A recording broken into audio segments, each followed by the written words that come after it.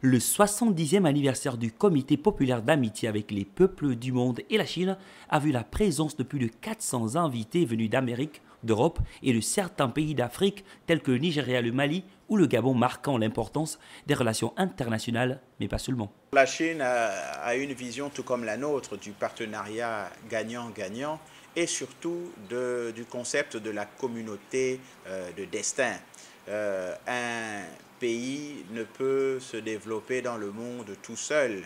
Et il n'est pas juste d'avoir dans un monde euh, certains qui sont euh, prospères et d'autres qui vivent dans des conditions déplorables. Et cette conférence présidée par le vice-président de la République populaire de Chine a mis l'accent sur un concept nouveau, la prospérité partagée, un outil possible de développement la communauté de destin, c'est que chacun euh, des pays du monde a le droit à assurer à ses populations un développement euh, harmonieux et équitable.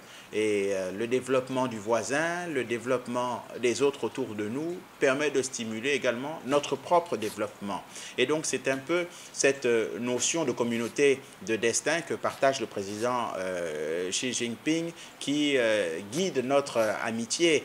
Et le président, le général de brigade, Brice Clotaire Oligui également, euh, partage cet avis que le développement passe euh, par l'harmonie entre les peuples.